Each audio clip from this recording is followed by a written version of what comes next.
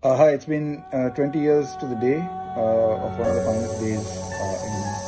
तो जायसवाल की धुआंधार बैटिंग देखने के बाद द्रविड़ ने तो ये डिसाइड कर लिया कि भाई जायसवाल को टीम इंडिया में लेना ही लेना है वर्ल्ड कप में वो शायद खेल भी सकते हैं। लेकिन अब पूरा फैसला बीसीसीआई के ऊपर है कि भाई वो जायसवाल को खिलाएँगे कि नहीं खिलाएँगे, क्योंकि भाई जायसवाल के लिए अभी जगह नहीं दिख रही है, क्योंकि पूरी टीम सेट है, हर प्लेयर को सेट कर दिया गया अगर जायसवाल पहले ऐसी बैटिंग करते तो शायद उनको ले लिया जाता। लेकिन अभी टेस्ट वर्ल्ड कप की ही स्क्वाड को घोषित किया गया है, लेकिन जो भी ओडीआई वर्ल्ड कप आने वाला है, उसका स्क्वाड निकलेगा तो देखते हैं जायसवाल को क्या पता मौका मिल जाए और सारे ही काफ़ी खुश हैं विराट कोहली से लेके हर प्लेयर जो है अप्रिशिएट कर रहा है जयसवाल को, उनकी बैटिंग को तो बहुत ही ज़्यादा बड़ी बात है जयसवाल के लिए कि भाई इतने बड़े बड़े प्लेयर उनको अप्रिशिएट कर रहे हैं।